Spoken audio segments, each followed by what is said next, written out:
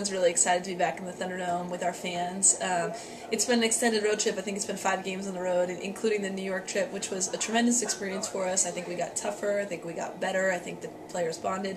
But there's nothing like coming home. You know, we're a better team than we were a month or two ago, and um, hopefully, you know, start off conference play at home the right way. We know that um, in the conference this year, all teams have, can have one great day and anything can happen. So it's really just one day and one game at a time lot of more pressure on teams defensively, which has allowed us to turn people over and get some easy layups. So you've seen, you know, Nicole get out in transition and get some tips and steals, and Mel's involved in that, and Lay and Kelsey. Uh, and then I think our inside production's been really stellar. Mekia and Sweets are both shooting amongst the highest you know shooting percentage in, in the league. Uh, Mar is tough in there, and, and, and I think that that inside outside game has also raised our shooting percentage because I think it's it's the way we design the team to be able to.